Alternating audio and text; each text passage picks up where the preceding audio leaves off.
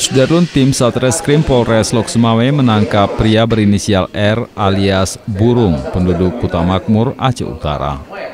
Penangkapan Burung dilakukan terkait dugaan kasus pencurian. Namun dalam pemeriksaan kemudian terungkap Burung juga merupakan napi LP Lambaru yang kabur setahun lalu. Pada kasus sebelumnya, Burung adalah napi dengan vonis 8 tahun penjara juga terkait pencurian. Ia bahkan baru setahun menjalani hukumannya hingga akhirnya melarikan diri dari LP.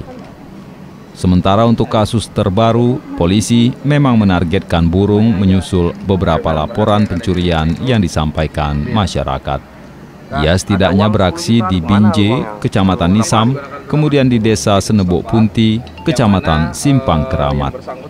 Dalam aksinya, burung menyelinap masuk ke rumah korban dan berhasil membawa kabur sepeda motor, smartphone, hingga uang tunai. Ya, sudah lebih dari 10 kali di uh, Satreskrim Polres Loksmawe sendiri.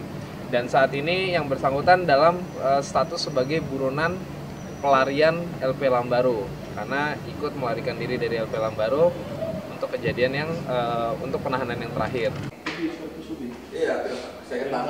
Dari Luxmawe, Zaki Mubarak, Serambi On TV.